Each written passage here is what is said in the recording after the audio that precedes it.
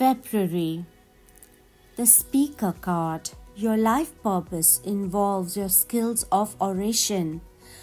Are you thinking about taking up any public speaking or meetings, consultations where you will be a speaker? Functions, events is the way forward this month.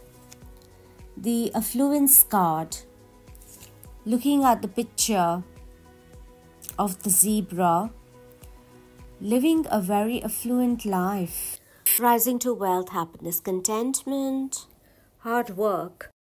I choose to be debt free and live an affluent and healthy life. For the month of February. A very good affirmation to hold on to for the month of February it is the beginning of the year, and something positive like this can surely turn things around for you. So hold this thought in your mind for the month of February.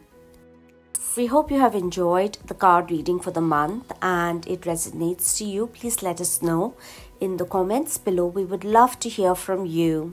Like and subscribe with the notification bell to receive immediate updates every time I post new videos. Thank you.